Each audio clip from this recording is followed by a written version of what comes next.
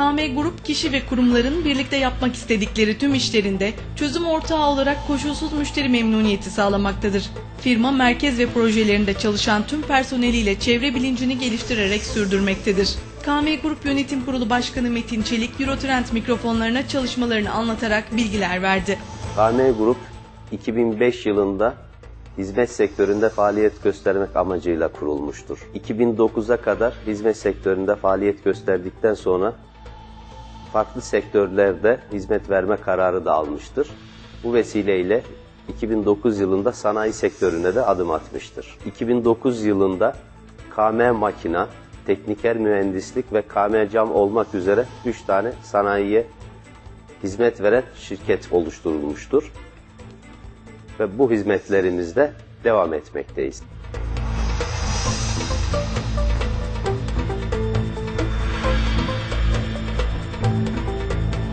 KM makina ısılı işlem fırınları, elektrostatik toz boya tesisleri, yaş boya tesisleri, kabinler ve projelere yönelik özel tesisler kurar. KM cam kimya, kristal işlemleri, yaldız işlemleri bu iki grupta ayrılıyor. Birisi mutfak eşyaları, birisi diğeri süs eşyası olarak iki grupta hizmet veriyor. Tekniker mühendislik e, KM makinanın elektrik ve elektronik bölümünü üstlenir. Kaynak olayını kaldırdık kendi tesislerimizde. Bunları e, daha farklı yöntemlerle yapıyoruz. İkincisi toz boyayla ahşap kapıların boyanma, medefe boyama işleriyle ilgili argemizi geliştirdik. Şu anda denemesini yaptığımız bir tesisimiz var.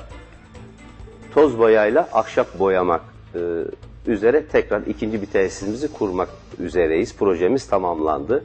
Kablo pudralama makinesi biz yapıyoruz. Yine Türkiye'de ilk olarak. Buna benzer e, gene temperli cam e, fırını imalatı için argemizi tamamladık. Bunu da şu anda bitirmek üzereyiz.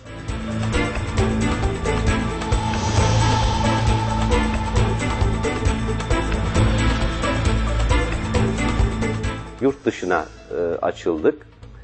Rusya'da, Suriye'de, Ukrayna'da şu anda distribütörlerimiz var.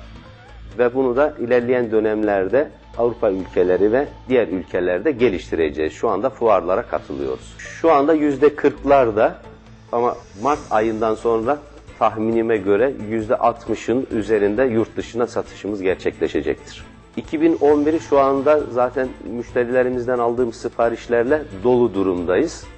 Burada bulunduğumuz yerde vardiyalarımızı artırarak e, 2500 metrekare bir yer daha ilave ettik. Genişleterek devam edeceğiz. Tüm şirketler grubumuzun e, hepsini kapsayan bir dış ticaret şirketi olarak tekrar bir e, yapılanma içerisindeyiz. Tamamen kendi ürünlerimizi dış pazara pazarlayacak e, bir şirket oluşturduk. Onun üzerinden yapılacak. Şu anda da yurt dışı pazar araştırmaları bu şirketimiz kanalıyla yapılmaktadır. Belli bir çizgiyle e, yurt dışında hizmet vermeyi düşünüyoruz ve bulunduğumuz yerlerde de mutlaka kendi ekiplerimizle, kendi teknik personellerimizle orada hem ürünümüzün takibi, hem garanti süremizin takibi, hem nasıl kullanılır, nasıl destek vereceksek yedek parçalarımızla birlikte orada şirketler oluşturma 2011 yılındaki de hedeflerimizden bir tanesidir.